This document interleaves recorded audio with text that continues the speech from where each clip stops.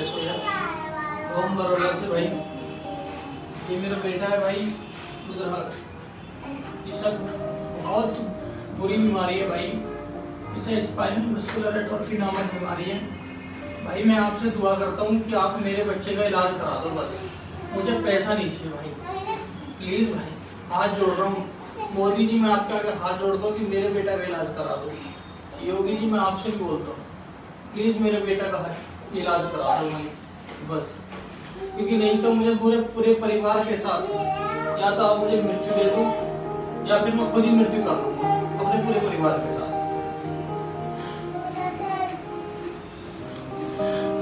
भाई बोलो। भाई मेरी बस यही आपसे फरियाद है कि प्लीज़ मेरे बच्चे की ओर ध्यान दो। मेरा बच्चा बहुत ही बुरी बीमारी से इस टाइम लड़ रहा है। मुझे पता हूँ मैं अपनी रात कैसे बिताऊं? मुझे बार बार उठ के देखना पड़ा कि मेरा बच्चा तरीके से सांस भी ले रहा है या नहीं ले रहा। प्लीज़ मेरी आपसे हाथ के यूँ मिलती है कि मेरे बच्चे की तरफ़ ध्यान दे प्लीज़ मुझे किसी का कुछ नहीं चाहिए, बस मेरे लिए मेरे बच्चे की जान बहुत ज़रूरी है। बस मेरा बच्चा मेरे गोदी में सही सलामत रहे, जैसे सब माँ चाहती है, ऐसे मैं चाहती हूँ कि मेरा बच्चा ठीक ठाक होगा बस।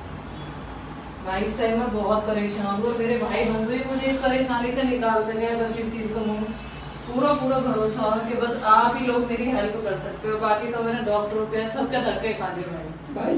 कोई नहीं है भाई मेरा। ये बच्चा हमारा बाहर से लगता है। भाई मैं अपने भाई का हाथ जोड़ के भीख मांग रहा हूँ। इस बच्चे की जान बचा दो मेरे भाई। इसका इलाज इतना महँगा है कि हम अगर अपने घर बार भी पेट देंगे तो हम इसका इलाज नहीं करवा पाएँगे भाई।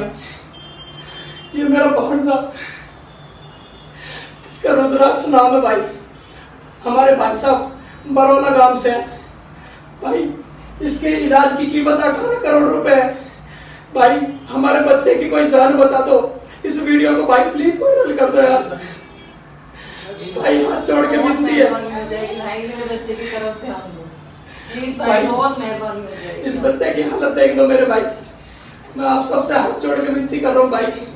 प्लीज़ इस बच्चे की खातिर इस वीडियो को वायरल कर दो। ये वीडियो मोदी जी का मेरा नंबर है। अगर आपको लगता है कि मैं फ्रॉड हूँ या कुछ वैसे हैं भाई इस नंबर पे फ़ोन करें।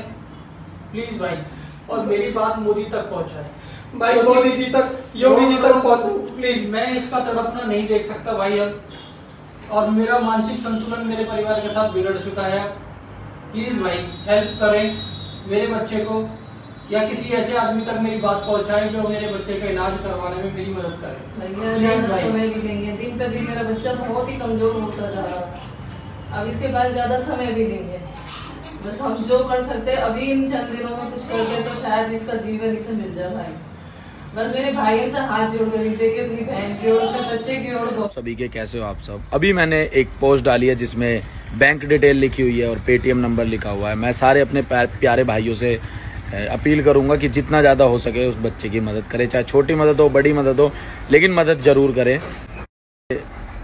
वो बच्चा और उसका परिवार एक बहुत भारी वक्त से गुजर रहा है और उस बच्चे को जो बीमारी है, मैं चाहूँगा वो जल्द से जल्द ठीक हो जाए बच्चा और खुशहाल बढ़िया अपना जीवन बिताए। तो मदद करें जितनी आप कर सकें।